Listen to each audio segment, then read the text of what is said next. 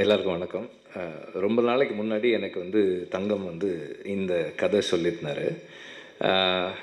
எனக்கு வந்து அந்த அதிலிருந்து அந்த ஐரணி வந்து ரொம்ப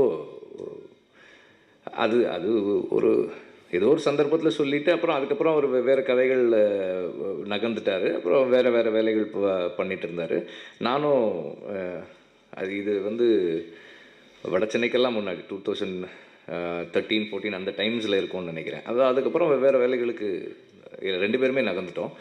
அப்புறம் ஒரு சந்தர்ப்பத்தில் ஒரு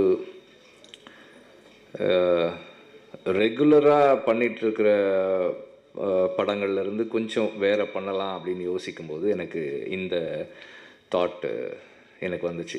சரி அந்த கதையை நம்ம பண்ணலாமே பண்ணால் நல்லா இருக்குமேன்னு சொல்லிட்டு நான் அவரை கேட்டேன்.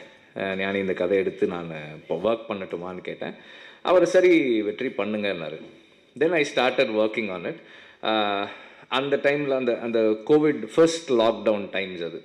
அது எழுதி நார்மலாக வந்து ஸ்கிரிப்ட் எழுத மாட்டோம். இது எழுதி கிட்டத்தட்ட எழுதி முடிச்சிட்டேன் நான். அது அதனாலே என்னன்னு தெரியல. அது பண்ண முடியல அப்புறம் வேறு விடுதலை பண்ணோம். ஸோ இந்த ஸ்கிரிப்ட் எழுதுகிற டைமில் இனிஷியல் ஃபேஸ்லேயே வந்து நான் அமீரோட நிறைய இந்த இந்த ஸ்கிரிப்ட் ஐடியா பற்றி டிஸ்கஸ் பண்ணிட்டு இருந்தேன். இது இதுக்குள்ளே வந்து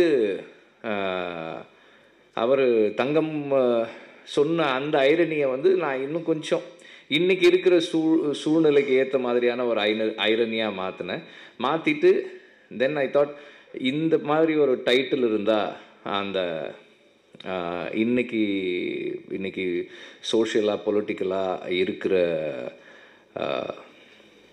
அந்த டிஸ்பாரிட்டி அதை அதை அதை நாம் டிஸ்கஸ் பண்ணுறதுக்கும் அதை கொஸ்டின் பண்ணுறதுக்குமான ஒரு டைட்டிலாக இது இருக்கும் அப்படின்னு எனக்கு தோணுச்சு.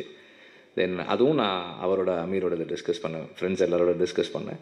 தென் அது பண்ண முடியல விடுதலை பண்ணுறோம் அப்படின்னு ஆனதுக்கப்புறம். தென் வி ஸ்டார்டட் ஒர்க்கிங் இப்போ ரீசண்டாக அவர் அவரும் அமீரும் வந்து நிறைய பேசிகிட்டே இருந்தார். அந்த சந்தனத்தேவன் திரும்ப ரெஸ்யூம் ஆகிற ஒரு சுச்சுவேஷன் இருந்தது. தென் அதுக்கப்புறம் ரெண்டு மூணு ஸ்கிரிப்ட்ஸ் பேசிகிட்டு இருந்தாங்க. அப்போ ஒரு நாள் வந்து இந்த இந்த இறைவன் மிகப்பெரியவன் ஐடியாவை நான் ஒர்க் பண்ணட்டுமா அப்படின்னாங்க. கண்டிப்பாக பண்ணுங்கள் ஆக்சுவலாக நீங்கள் பண்ணால் இன்னும் நல்லாயிருக்கும் அப்படின்னு எனக்கு தோணுதுன்னு நான் சொன்னேன். எனக்குமே அப்படி தான் இருந்தது. அவர் தங்கம் எப்படி ஃபீல் பண்ணாரோ அதே மாதிரி தான் நான் ஃபீல் பண்ணேன். அண்ட் அவர் வந்து நான் சொன்ன ஐடியாவை எடுத்துகிட்டு அவர் ஒரு ஸ்கிரிப்ட் பண்ணியிருந்தாரு. ஸ்க்ரீ ஸ்க்ரீன் ப்ளே பண்ணி சில சீன்ஸ் எல்லாம் சொல்லும்போது நான் சொன்னேன் இது வந்து கண்டிப்பாக நான் வந்து யோசிக்க முடியாது. பிகாஸ் அது உங்கள் லைஃப் ஸ்டைலுக்குள்ளேருந்து சில சீன்ஸ் இருக்குது இதில் டீல்ஸ் வித் அந்த ஏரியா சொல்லாமா எனக்கு ஃப்ளோவில் வருது. ஸோ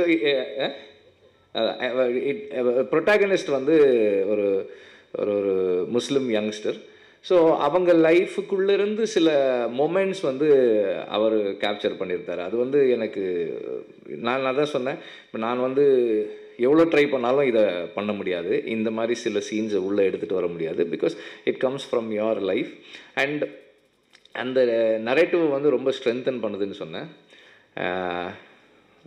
ரொம்ப எனக்கு ரொம்ப சந்தோஷமாக இருக்குது இது வந்து இப்போது இப்படி ஒரு படமாக வர்றது எனக்கு ரொம்ப சந்தோஷமாக அதே போல் இந்த டைட்டில் ஃபாண்ட்டும் வந்து அவர் அமீர் தான் ஒர்க் பண்ணார்.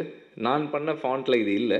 பட் அவர் பண்ண ஃபாண்ட்டில் வந்து அந்த இன்க்ளூசிவ்னஸ் இருக்குது அது வந்து அகெயின் அது அவர் வந்து